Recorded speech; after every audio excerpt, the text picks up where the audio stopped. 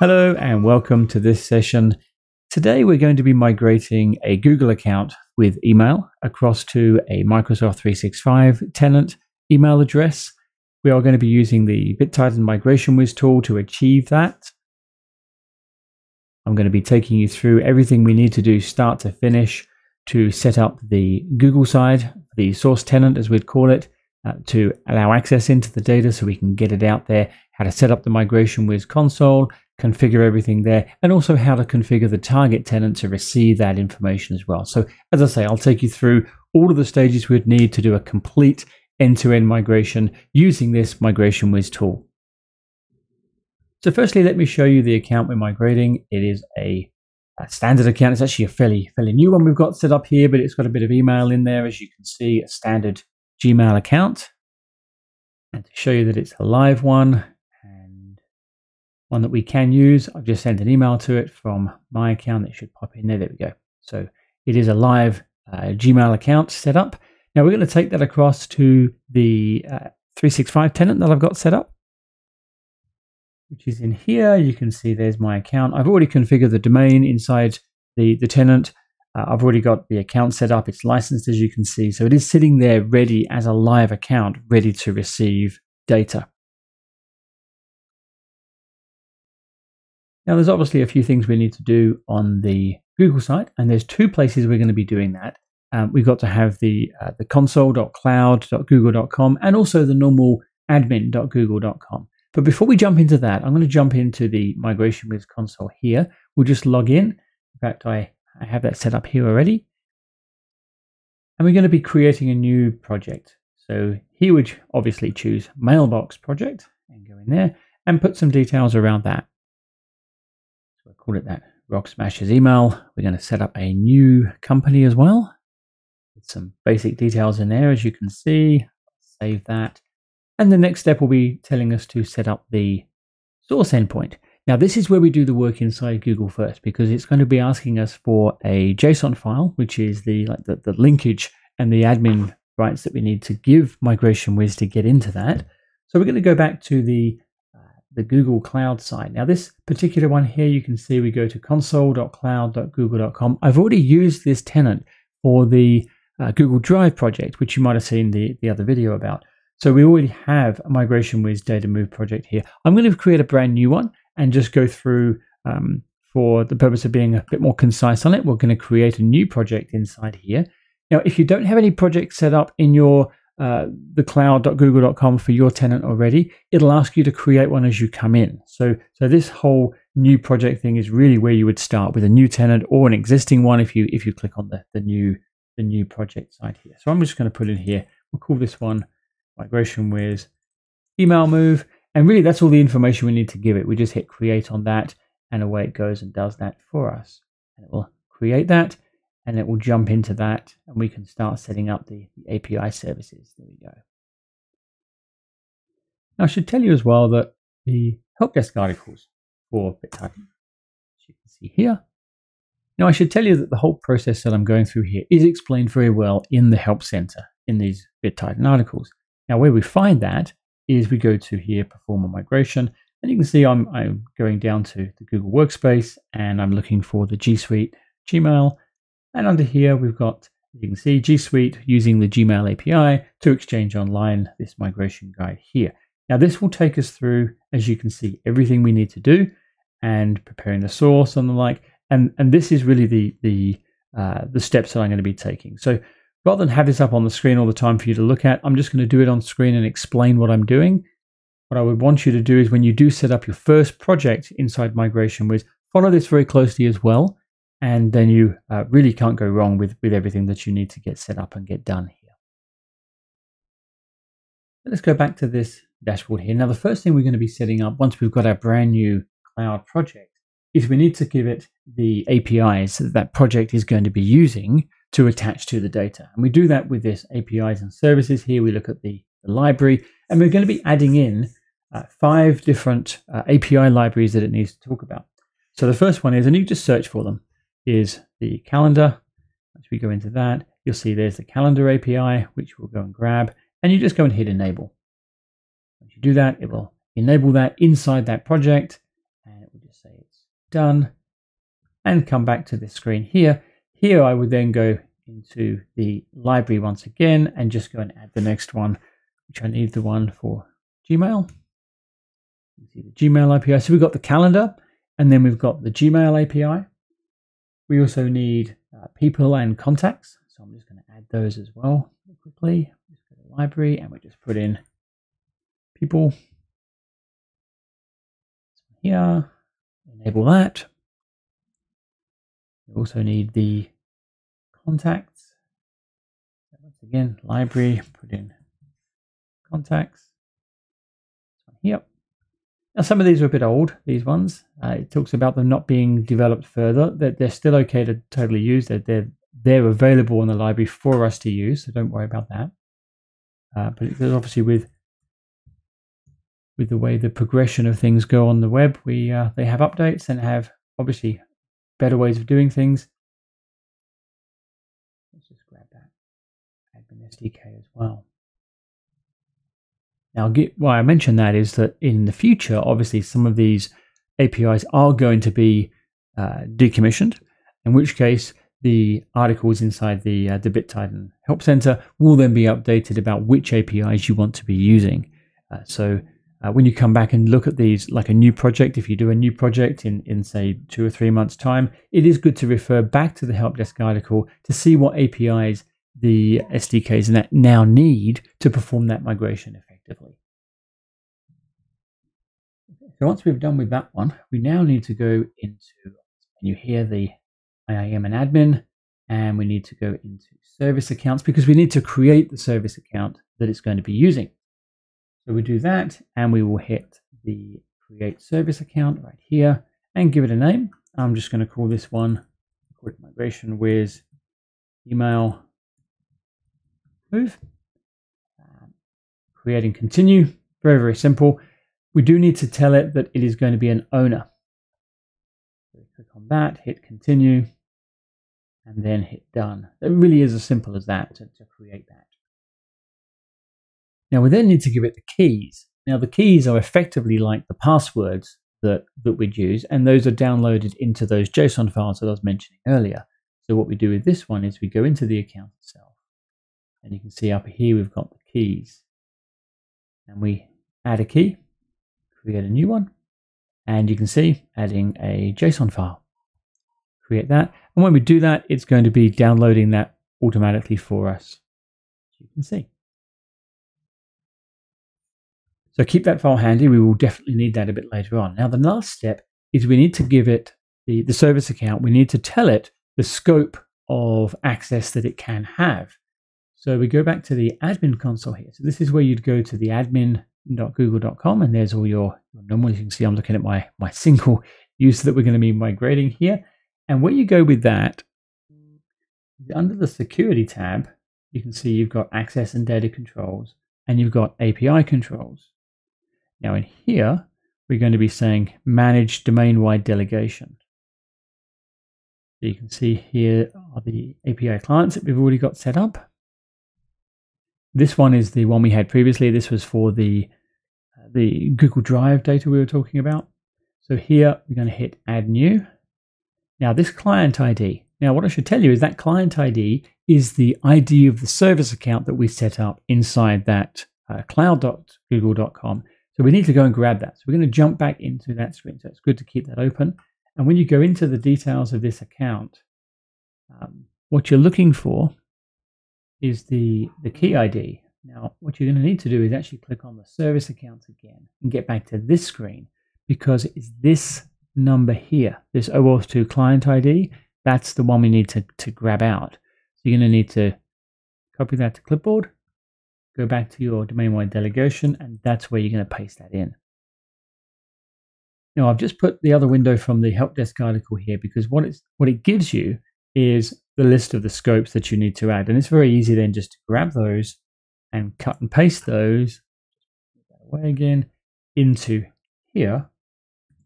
Like so, hit authorize, and you can see it will put those in, and those are the the items. If we click on view details, you can see those are the scopes that we've allowed this, uh, this particular service account to have. as I say, that comes directly from that the the help.bittitan.com, that article we're talking about. So that's where you grab these from. And that really is everything you need to do on the Google side to set up the, the service account, the API controls, and giving it access there. So now we can move ahead to the Migration Wiz console again. If I just go back in there, what I'm going to be doing is setting up a new endpoint. So I just give it a name, and the endpoint type is going to be G Suite with the Gmail API. Now, when I do that, it's going to ask me for this JSON account. Now, this was that, that file which we downloaded previously, so we just need to go and select the file and go and grab that. And that one just pops in there, and we'll give it what the super admin username is as well, which I put in there and hit add. So really that is our, our source endpoint um, all set up. And the next step will be to set up the destination side, which is going to be the M365 side. So there's a bit more work to do on that, uh, the same sort of type of configuration we do to receive the data. So let me uh, just talk you through that one now as well. So I'm in the M365 tenant we'll call the target tenant. I'm going to set things up for the receiving of data. So the first thing we need to do is we need to do the app registration, which is required for the modern auth component where Migration Wiz console and the backend can then put data into any of these accounts. So if we go to show all here and we go down to identity, it could be called the Azure AD. It might have been renamed already on your tenants at Microsoft Entra. As you can see here, they are changing a few things on this. So, so just bear in mind that this may look very slightly different, but the concept is exactly the same.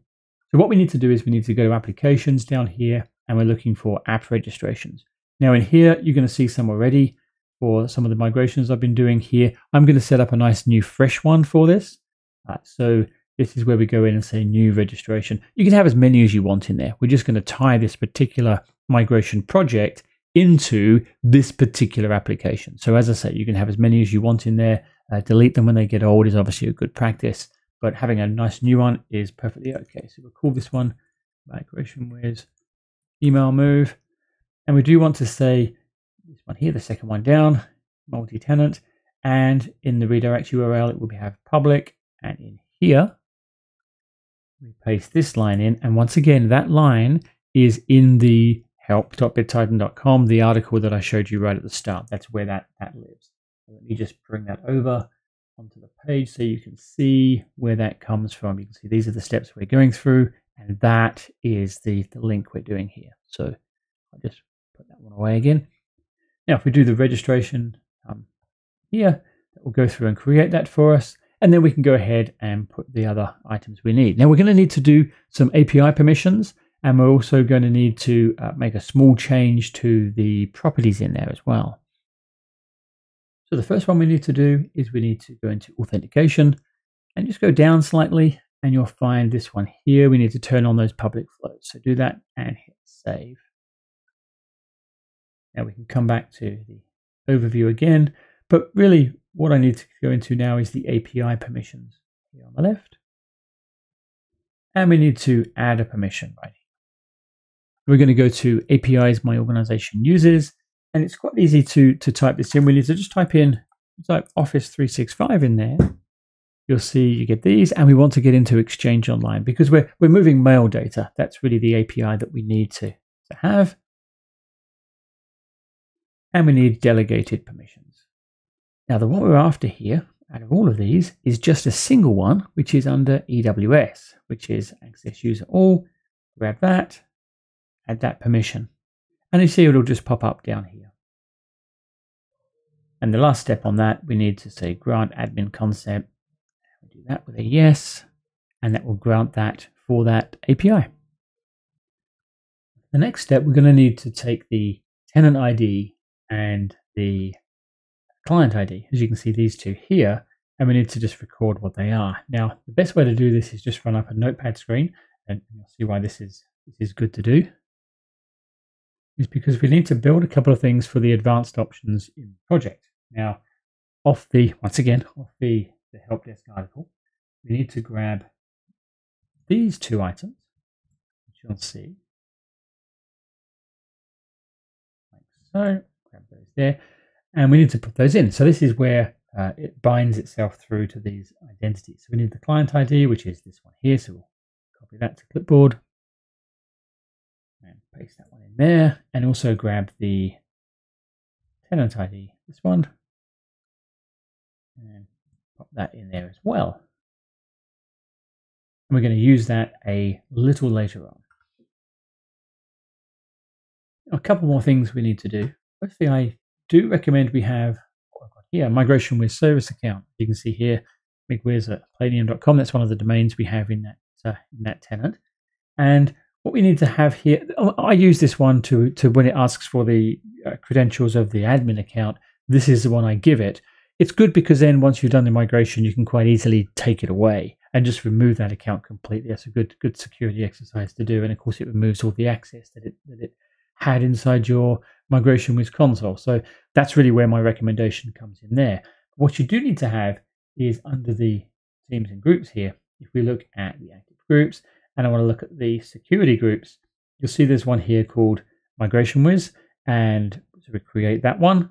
And inside here, you can see that from a member's perspective, that's where I put that service account as well. So that's another another step that you want to uh, to do and get done. It helps with that that modern authentication. The console will use this security group and see that that things are are registered, and it will obviously work correctly when you do that.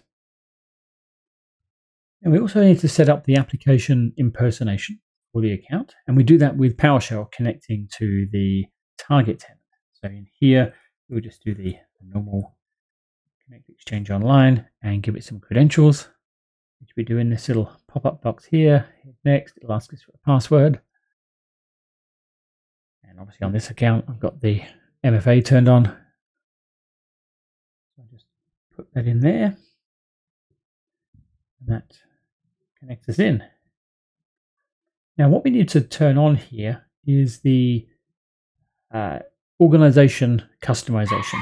And what we now the command we use for that is enable organization customization. Now this one is going to come back with an error when I run it because I've already run it previously. And you can see here the error is this operation is not required. Organization is already enabled for customers. Lots of long words in there, but it's already done. So that's that's uh, that's quite normal to see. Now I've also already set up the impersonation on this tenant as well. So I'm going to get a similar message when I run the command to, to do that. But I'm going to show you what the command is. Also, I need to show you as well is if that command fails and says that you do not have authority to create the application impersonation, you can set it up manually through the Exchange console in M365. So I'm going to show you how to do that as well. So let's just run this command and, uh, and I'll put it in here so you can see it, just so we can get uh, a bit more concise on that. So here's our command, new management role assignment. The role is the application impersonation, and the user is that service account that we set up before. So when I run this one, let's see what that does. And you can see here, it has gone in effectively nice and quickly. Too good. Now, this is the response you'd expect to get. Um, now, if you do get the error on that, as I say, saying that you don't have rights to do it, let me show you where you'd find that in the Exchange console. So down here, you'd go into Exchange. And from here, we're going to look at roles and admin roles. And here I've probably got one already set up. Yes, there we are, application impersonation. So what you do, is, if I look at this one first of all, you can see um, it's also uh, the service accounts assigned, as you'd expect. That's what that command has just done for us and obviously the, the permissions, it's going to have application impersonation here. Now, if that wasn't there, what you do is you would say add a role group, and that's where you give it a name, application, and let's say I, I just call this one app2, just, just so there's something in there. But what we're looking for here is when you do next, you would go down here, and it's actually right down the bottom of the application and click on that one, and then go through next and then add the people in manually. That is how you'd set up exactly the same thing as that PowerShell command through that Exchange um, admin console. And that will have the same effect as the same task. So, and this will work through if you're a GA account. As I say, sometimes that PowerShell does say you don't have permission to run this, and this is what you would need to do to get around that. So in this one, I'm just going to cancel out of that, right there, and pop back to our migration wiz console now because this is all set up and ready to go. Pop that one down as well. So we're going to create a new endpoint and we'll call this one the TCG E5 demo, which is like that. And the endpoint type is going to be our standard Microsoft 365. Now, these are the credentials that we put in. These are the uh, the Migration Wiz service account again that we've just created in the in the last few minutes. We'll put those in and hit add, and away it goes.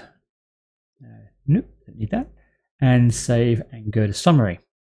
Now, what we will do straight away is before we go in and do anything else, I'm going to go into the advanced options because we need to put those in.